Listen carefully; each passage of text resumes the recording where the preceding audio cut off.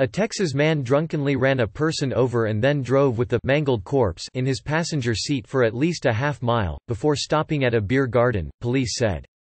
Paul Joseph Garcia, 24, allegedly rammed into a pedestrian pushing a shopping cart Saturday at about 10.40 p.m. in South Austin, the Austin American-Statesman reported on Tuesday.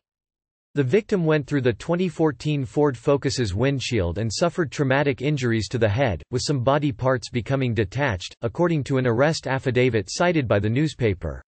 But Garcia kept driving with a mangled corpse in the vehicle, the document states.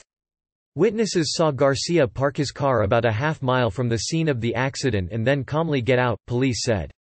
He then walked into the South Austin Beer Garden barefoot, in a manner that caught the attention of the other patrons, the affidavit said. He wasn't served any alcohol at the bar. Debris, including car and body parts, lined the road from the scene of the crash to where the car stopped, the document said. Garcia had evidence on his body that matched the blood and body tissue found coating the inside of the vehicle, cops said. Officers conducted a sobriety test on him and he was charged with intoxication manslaughter and accident involving injury.